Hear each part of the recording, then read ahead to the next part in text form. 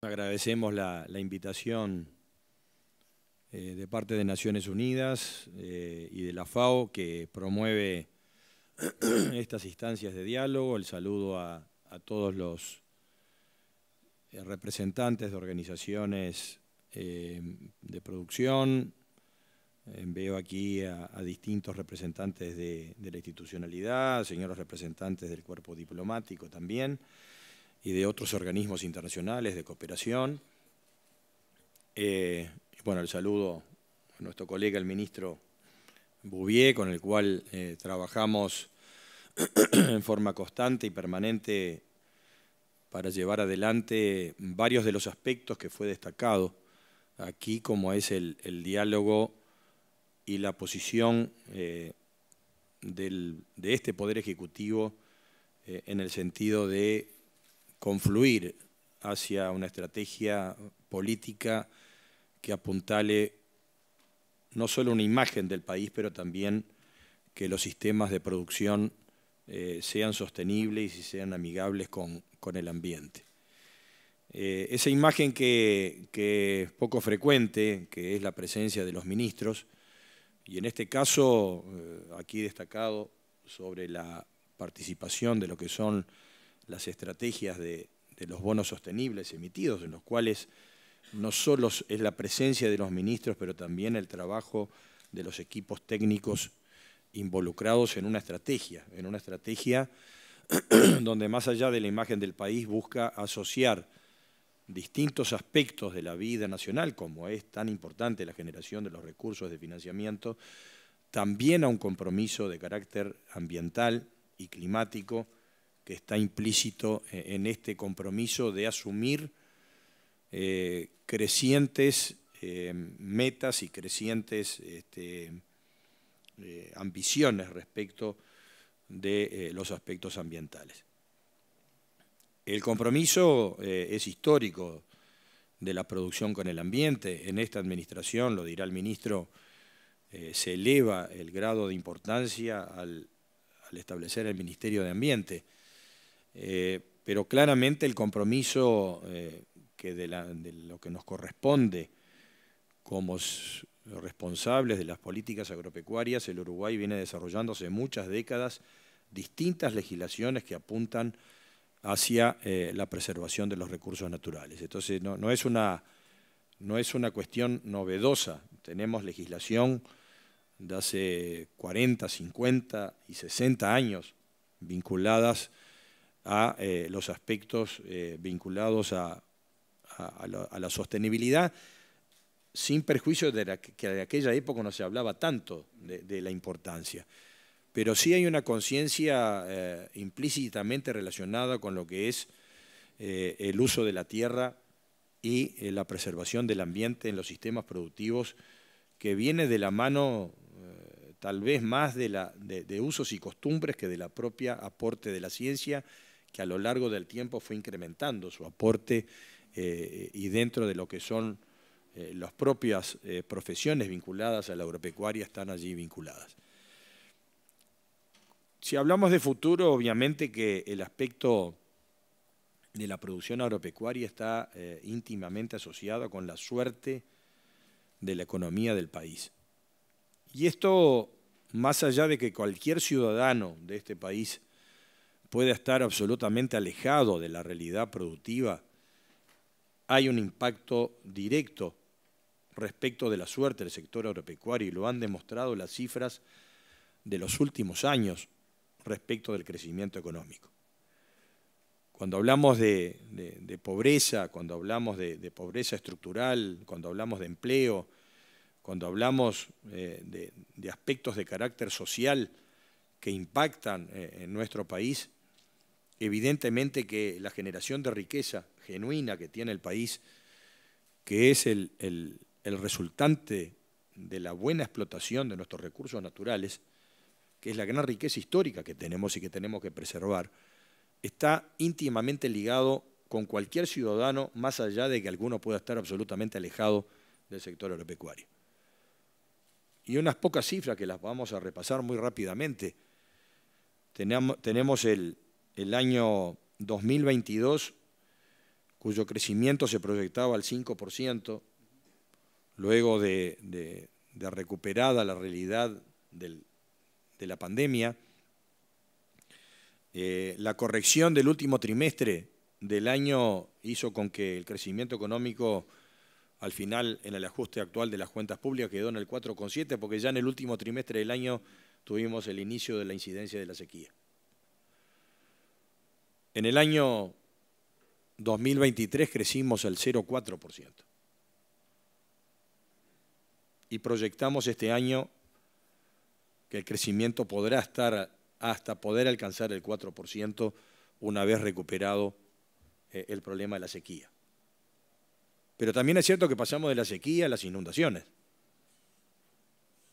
Tenemos zonas del país, porque el niño se anunciaba en todos los pronósticos que a partir de la primavera íbamos a tener una reversión fuerte con un fenómeno del niño muy marcado, pero en realidad buena parte del país estuvo, sí, con un aspecto de reversión, pero tenemos toda una zona del sur del país que hasta el mes de marzo teníamos déficit en los suelos. Y recién a inicios de marzo empezaron las lluvias más abundantes y ahora sí registramos excesos en todo el territorio nacional. Entonces pasamos de, una situación de sequía a una situación de inundación en un centiamén. Y nos genera la alerta ver que a pocos kilómetros de distancia tenemos ese tremendo drama que está viviendo Río Grande do Sul las peores inundaciones de la historia. Nos vamos a ir a 200 muertos como mínimo y, daños económicos que son inconmensurables en materia de infraestructura y en materia de pérdidas. Vimos decenas de miles de casas inundadas en, núcleos urbanos de la Gran Porto Alegre. Un verdadero drama. Y que, ojo, Río Grande había vivido en una magnitud un poco menor en algunas zonas del Valle de Oyacuí, afluente del Guaíba, que no llegó a desbordar en aquel entonces, pero en el mes de septiembre tuvimos inundaciones de enorme magnitud en algunas ciudades equivalentes a las actuales, es decir, en pocos meses dos eventos que impactan fuertemente. Y estamos a muy poca distancia de ¿Con qué quiero referirme con eso? Que los sistemas de la economía uruguaya, donde cuando hablamos de sostenibilidad tenemos que hablar de, las los tres pilares de la sostenibilidad. La económica, la social y la ambiental. Y en ese sentido, con la incidencia que tiene el sector agropecuario en nuestra economía, esto quiere decir que el grado de vulnerabilidad que estamos expuestos es creciente. Y que seguramente algo que no ocurrió, a Dios gracias, pero que podrá ocurrir en el futuro, como una alternancia de sequías, como estas inundaciones que sufre, que no estamos libres a lo largo de la historia, debemos generar, por supuesto, mecanismos mucho más potentes de resiliencia y de adaptación a una realidad del cambio climático que impacta en forma creciente. Hoy estamos diseñando lo que se puede hacer, lo va a exponer la directora de OPIPA, y no voy a abundar sobre los detalles. Pero nuestra, nuestro aporte en el Ministerio va a ser dejar una Estrategia Nacional de Desarrollo Agropecuario donde los aspectos de adaptación están fuertemente expresados allí. Y nosotros precisamos, obviamente, planificar políticas públicas que más allá de las ya existentes nos den una condición de adaptación mucho más potente para enfrentar la próxima sequía que dígase de paso ya está anunciada, porque las tendencias climatológicas que tendrán que confirmarse, tendrán que confirmarse, no podemos apresurarnos, cada vez son más fuertes respecto de que la niña estará de retorno en la próxima primavera. Entonces, el Uruguay precisa una mayor infraestructura para enfrentar esta situación. Tiene que tener disponibilidad de sistemas de riego en mucho mayor proporción. Tenemos apenas 2% del área productiva bajo riego y tenemos que cuadruplicar como mínimo el ritmo de incorporación de sistemas. ¿Por qué? Por lo que decía anteriormente. Si no podemos, porque no es que no llueva en el Uruguay, llueve en forma irregular. Y si llueve en forma irregular y después nos falta el agua, tenemos que almacenar cuando está disponible. Y tenemos que usar los cursos de agua naturales existentes, como el río Uruguay y el río de la Plata en su fase dulce, que no prácticamente no lo explotamos.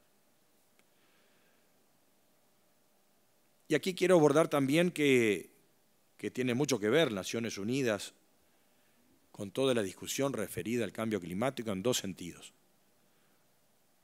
Los recursos comprometidos en el Acuerdo de París por los países generadores de esta problemática, que son los países desarrollados, que siguen siendo los grandes emisores y que generan toda esta variabilidad climática, no se han hecho responsables del punto de vista de la transferencia de los recursos de los países que lo vienen sufriendo. Y eso hay que decirlo en todos los foros. Y el segundo aspecto, que no tiene tanto que ver con esto, pero tiene que ver con una discusión también en el ámbito de Naciones Unidas, donde nos visitó recientemente la directora general de la Organización Mundial de Comercio, que estuvo este fin de semana con nosotros, compartiendo con el gobierno y con los representantes de ALADI como una organización de integración regional. En cuanto a la importancia que tenemos de abordar el capítulo agrícola, que ha sido abordado en forma parcial y sin los avances necesarios. Sigue habiendo del lado del comercio un factor de proteccionismo creciente que ha determinado que en los últimos tiempos hemos retrocedido respecto a la liberalización de este comercio. Y donde también muchos países, influenciados por las realidades geopolíticas actuales, las distintas guerras, han tomado posiciones que van en contra de los procesos de liberalización y han restringido y han generado distorsiones al comercio que son crecientes. Y tenemos nuevas reglas que se pretenden imponer del punto de vista ambiental, que todos compartimos. Todos estamos de acuerdo con la sostenibilidad. Lo que no estamos de acuerdo es que se utilice el argumento de la defensa del ambiente y la sostenibilidad para generar un nuevo factor de proteccionismo en el comercio. Nosotros ya tenemos suficientes barreras proteccionistas justamente originadas fundamentalmente de los países que han generado todo este problema climático y que quieren incrementar aún más con estos factores de restricción al comercio. No estamos en contra de cumplir reglas de carácter ambiental, pero no podemos aceptar que se pueda generar a partir de las reglas que pretende imponer la Unión Europea, que además le están causando tremendos problemas domésticos con sus propios productores, un antecedente que nos vaya a generar un factor de proteccionismo que es más difuso, porque ya con los temas sanitarios y fitosanitarios ya lo tenemos suficiente, por lo menos tenemos la ciencia detrás que nos dice, bueno, acá hay un factor científico y aún así llevan adelante ciertas políticas que no son aceptables desde el punto de vista de la liberación de comercio. Pero en el, aspecto climático es mucho más difuso, es mucho más discutible los principios científicos que todavía están en proceso de estudio de definición. Hay controversias muy grandes respecto a cómo se calculan los aspectos de las emisiones. Entonces yo creo que este aspecto de las ayudas, de las financiaciones de los sistemas de adaptación, pero fundamentalmente el aspecto de la liberalización del comercio tiene que estar en el centro de la discusión. Y Europa, como se lo dijimos a sus propias autoridades, debieran generar, bueno, si realmente ustedes están tan preocupados con el aspecto de la producción sostenible, debieran determinar cuotas de acceso al mercado para aquellos productos que demostradamente y en forma consensuada surjan o emanen de sistemas productivos sostenibles. ¿Por qué es esto? Porque en definitiva, lo que tenemos, según dice Europa, que ellos están defendiendo el interés de sus consumidores. Y estos consumidores están dispuestos a, pagar más, dicen ellos, por este producto. Y del otro lado tenemos un productor que precisa recibir una señal y un premio, porque hoy no visualiza cuál es el beneficio de tener algún tipo de sistema de producción sostenible que a veces puede implicar o no una resignación de productividad. Juntemos estas dos partes. No estamos pidiendo los recursos abundantes que siguen siendo distorsivos, de las ayudas internas, que se lo dijimos a la directora general de Comercio, Europa todavía maneja más de 400 mil millones de dólares de subsidios en su sistema productivo, de los casi 700 mil que los países desarrollados le destinan a sus propios productores. Eso es distorsionante. De eso tenemos que hablar y se han negado en los foros internacionales a poder discutirlo, porque tiene mucho que ver con lo que estamos hablando. Si queremos combatir la pobreza estructural que tenemos aquí, buena parte se podría resolver no con ayudas externas condicionadas muchas veces, pero sí liberalizando el comercio, haciéndolo mucho más transparente y mucho más sincero. Así que, como diálogo de futuro, quería dejar estos aportes. El futuro del Uruguay evidentemente que está vinculado al desarrollo agropecuario y evidentemente que está vinculado a un desarrollo agropecuario que lejos de estar del lado del mal uso de los recursos naturales tiene que apuntar a sistemas más productivos y más sostenibles, para lo cual hay que trabajar mucho en conjunto, hay que trabajar del lado de la ciencia, hay que trabajar del lado de la capacitación y hay que trabajar del lado del estímulo a los productores que a través de un comercio más libre seguramente adoptarán medidas mucho más. Podemos mejorar nuestro desempeño sin ningún lugar de que, este, que nos creamos que estamos en el pedestal eh, de, máxima sostenibilidad en nuestro sistema productivo. Lo podemos mejorar, pero tienen que estar estos primos implícitos para que tengamos, lógicamente, un futuro que será mucho más venturoso para toda nuestra población. Muchas gracias.